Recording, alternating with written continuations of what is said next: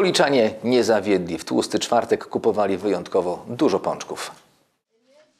Już od wczesnego rana policzanie odwiedzali polickie cukiernie, by tradycji stało się zadość. Do tego punktu towar dowożono niemal co pół godziny.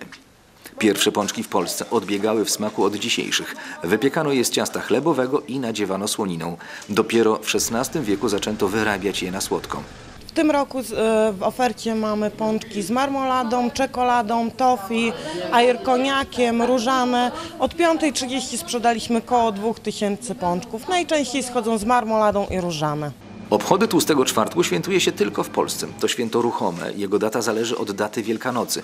Tłusty czwartek rozpoczyna ostatni tydzień karnawału.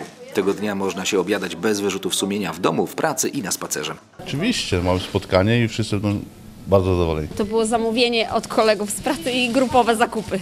Zgodnie z tradycją chrześcijańską w tym dniu należy się najeść dosyta wszelkich smakołyków. Najpopularniejsze to oczywiście pączki i faworki zwane chrustami.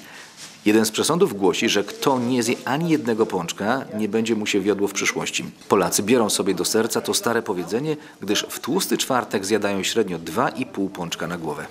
No podtrzymuję, tak jak widać. Kupiłem i będę podtrzymywał tradycję rodzinnie i, i sam też. W tej chwili dla mamy kupiłam dwa pączki i parę chrustów, czy faworki, jak to woli.